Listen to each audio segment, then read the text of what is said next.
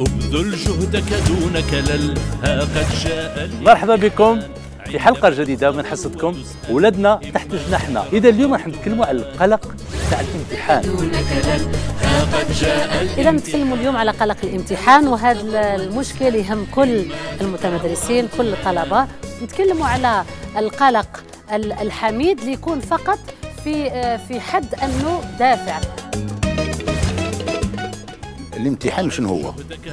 بالنسبة للتلميذ وبالنسبة لل- للأولياء. والمعلمين إحنا كذلك بدون قصد نلعب دور عكسي مما يجب أن نقوم به.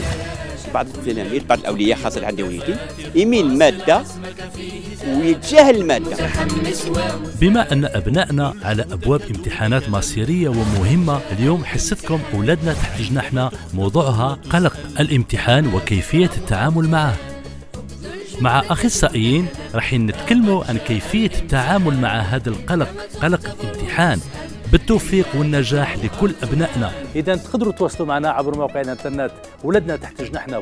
كوم ولا عبر صفحة الفيسبوك ولدنا تحت جناحنا.